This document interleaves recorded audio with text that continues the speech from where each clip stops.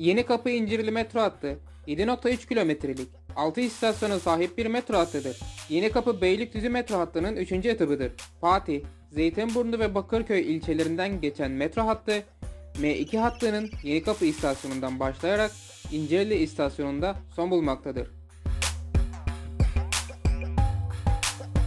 Yeni Kapı istasyonunda M1, M2 ve Marmaray hatlarıyla aktarma yapmaktadır.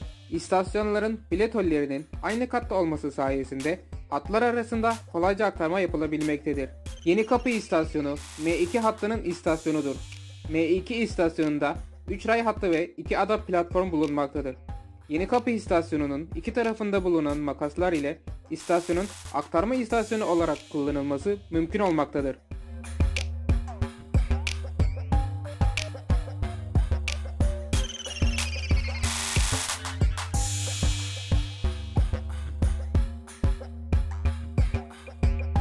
Metro hattı M2 hattının kuyruk tünellerine bağlanmaktadır.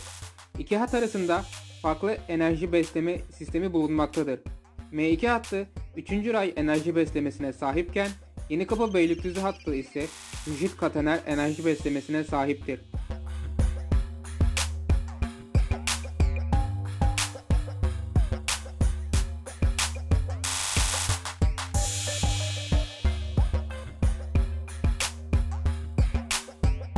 Yeni Kapı İncirli hattının 3. etap olmasının sebebi hattın tarihi yarımadada bulunması ve inşaat faaliyetleri sırasında ortaya çıkacak olan tarihi eserler ile inşaat sürecinin uzun süre etkilenmesidir. Bakınız Yeni Kapı istasyonu ile İstanbul'un tarihi geçmişinin çok daha uzun yıllar öncesine dayandığı ortaya çıkmıştır. Ancak hatlar planlanandan çok uzun süre sonra açılabilmiştir.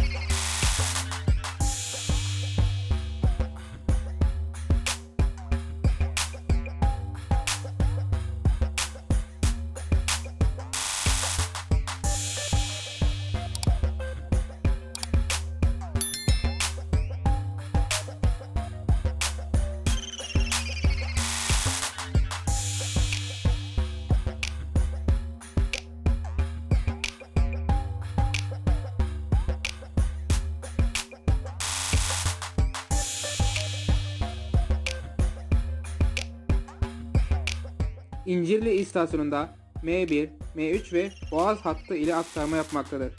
M1 ve M3 hatlarının alt kotunda Boğaz hattı ile aynı seviyede yer almaktadır. M3 hattına platformdan platforma aktarma imkanı sağlanmaktadır. M1 hattına yayı alt geçidi ile Boğaz hattına ise aynı bilet holikatı aracılığıyla aktarma imkanı sağlanmaktadır.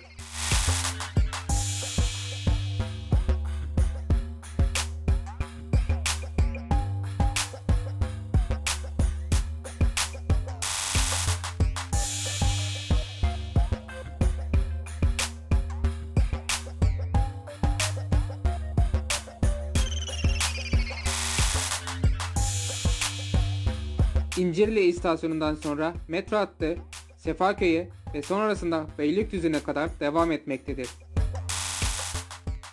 Video izlediğiniz için teşekkürler. Daha fazla video için etkileşimi yüksek tutmayı unutmayın. İyi günler.